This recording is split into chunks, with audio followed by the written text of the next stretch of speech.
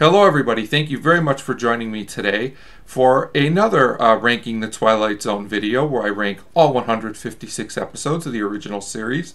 Today I'm going to be talking about my second least favorite, and this one almost made it to the bottom. Number 155, The Mighty Casey, a very late season 1 episode written by Rod Serling and directed by Alvin Ganzer and Robert Parrish. And Mighty Casey is an episode I've never really been very fond of, honestly, even the very first time I saw it. It just doesn't seem very Twilight Zoney, and it's just not very good in my opinion, which I'll go through here. So this one's about a robot baseball player who basically helps a struggling team uh, to victory. He makes them a lot better. They're basically a very bad baseball team. Now, this episode's got a few different issues than other episodes. There were production problems the original uh, actor that they wanted had health issues and they were never able to you know complete the episode with him. They hired jack warden and reshot a lot of the footage which is why i believe there's two different directors.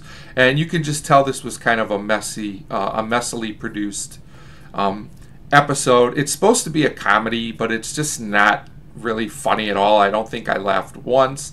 Uh, this is one of those episodes where they think that having poor sound effects is going to make it funny. And, you know, this works in slapstick comedy. It doesn't really work in the Twilight Zone. Um, the acting, uh, other than Jack Warden, who tries the best with the material he's given here, is just pretty average for the Twilight Zone. It's not awful, but there's nothing about any of the performances that really stand out. But the biggest problem with this episode, like I said, it doesn't feel Twilight Zoney. Some of the comedies don't, but this one really doesn't.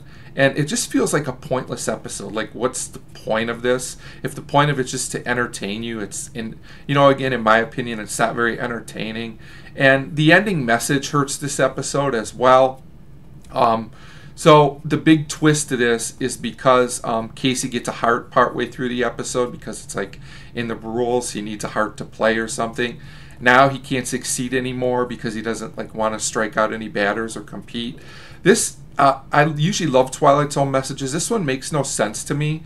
Uh, so is this saying that all people that are successful in athletics don't have a heart? They're all just ruthless? Like I just don't buy the message at all. To me, it feels tacked on because Rod Serling's like, you know, this episode's kind of a mess. Nothing's really happening, so I better tack on a message to make it feel more important. You know, like the message just doesn't really work for me, and this episode just doesn't work for me. Kind of like the last episode I talked about sounds and silences. I just don't get much of a point out of this, and because to me personally it's not funny or entertaining, that's why the Mighty Casey ranks at number 155.